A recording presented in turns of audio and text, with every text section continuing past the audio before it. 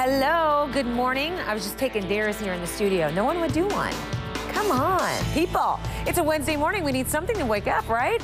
I'm Robin Meade. It's our job to get you informed for the day, and that we're ready for, so let's go. Senator Hillary Clinton, not over for him. You know, Senator Hillary Clinton claims victory in West Virginia, and she keeps saying that it's a state that Democrats need to win the White House, with 99% of the precincts reporting. She beat Senator Barack Obama in West Virginia's primary by 41 percentage points. Clinton says that her big win proves that she is the stronger candidate